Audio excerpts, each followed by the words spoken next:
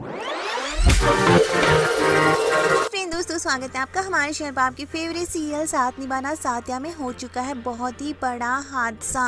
भाई मंडप में ढाई वोल्टेज ड्रामा देखने को मिला, जहाँ पर टिया लेकर आती है सारे सबूत और सागर को जोरदार थप्पड़ मारती है और गहना सारी सच्चाई घर वालों के सामने खोल कर रख देती है कि सागर की पहले ही शादी हो चुकी है और वो टिया को फंसाने की कोशिश कर रहा था।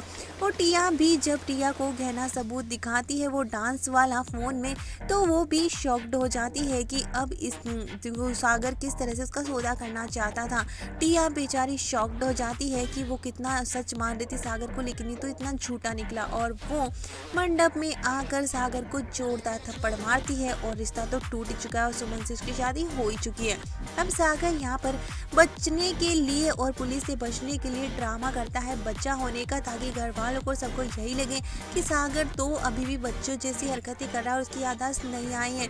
जब अब यहाँ पर सागर की अनंत और कृष्णा अब सीधी उंगली से घी नहीं निकलेगा तो भाई उंगली टेढ़ी करनी पड़ेगी और सागर और कृष्णा दोनों ही उसके पीछे भागते हैं कि अब तो तुम्हें सच को बोलना ही पड़ेगा और ये ड्रामा बंद करना पड़ेगा। तो वो उनसे पीछा छुड़ाकर भाग रहा होता है, छत पर भाग जाता है और वहाँ पर उसके पैर फिसलने की वजह से बड़ा हादसा हो जाता है।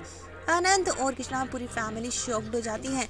लेकिन यहाँ पर एक बहुत ही बड़ा हादसा हो जाएगा और सागर को पहले तो अनंत कृष्णा बचाने की कोशिश करेंगे, लेकिन सागर का हाथ फिसल जाने की वजह से बड़ा हादसा हो जाएगा और सागर की मौत हो जाएगी। जी हाँ दोस्तों सागर का दी एंड हो चुका है और अब यहाँ पर सागर हमें शो में नज़र नहीं आएगा। तो वही कनक का बुरा हाल हो जाता है कि अब सागर भी नहीं रहा है तो उसका साथ देने वाला भी अब कोई नहीं रहा है।